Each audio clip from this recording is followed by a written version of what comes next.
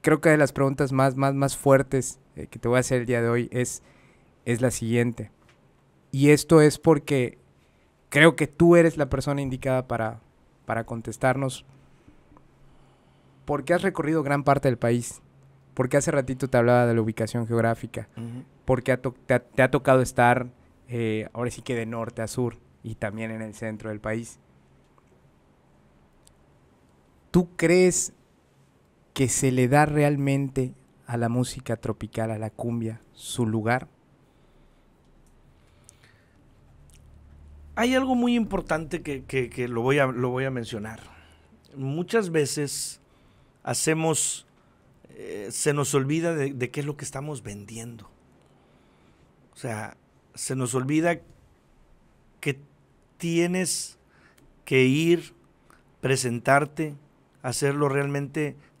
Uno dignifica a, la cumbia, digamos, a la música tropical. Uno la tiene que, o tú o la levantas o la hundes. Pero hay algo que a veces no le ponemos. No, es que la cumbia no. Ahorita lo que está fuerte es esto. Espérame, ¿por qué? Pues si yo me ocupo de presentar la cumbia como se debe, con un buen espectáculo, con, bien vestido, bien arreglado, bien perfumado, este, puntual, eh, no faltándole respeto a la gente, hablemos de que llegues tarde o que estés tomando. O sea, yo creo que la gente le da el valor. En mi caso, le ha dado el valor a la cumbia, porque eh, ahorita acabo de ver un comentario, me dice, es Nelson Pop, por la iluminación, por el tipo de iluminación y todo. Dije yo, qué bonito, qué bonito que lo están viendo así, porque el pop sabemos que tiene un nivel muy padre, ¿no? Entonces dije yo, qué bonito que un cumbiambero como yo este, le den ese, ese, ese plus. Y eso es algo bien importante para todos, pero tenemos que uno darle lugar.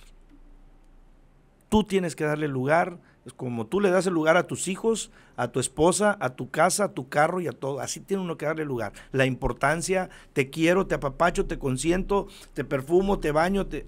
Así lo mismo tiene que ser con la cumbia. Porque muchas veces hacemos, al ahí se va. Muchas veces lo hacemos el, ah, no.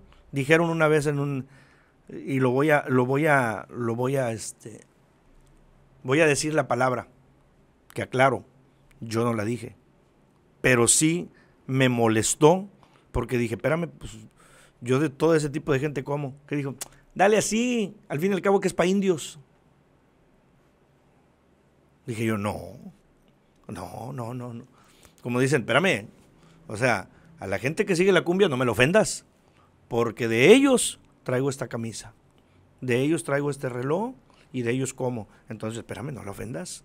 Y yo es lo que he tratado, de no de respetar a la gente y de respetar a la cumbia, de respetar a tu trabajo y presentarlo algo bien. A veces, muchas veces, queremos sacarle cosas, queremos cobrar un boleto, pero realmente no presentas nada. Entonces, tiene uno que darle ese lugar para que tenga ese lugar, la cumbia.